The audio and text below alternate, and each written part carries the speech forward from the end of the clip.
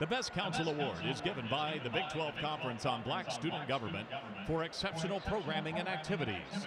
The Black Student Union organizes Black History Month, performs community service, arranges social engagements for K State's multicultural students, and much more. For their dedication, K State's Black Student Union has been named the most outstanding council for the last five years. Please join us in congratulating your Black Student Union.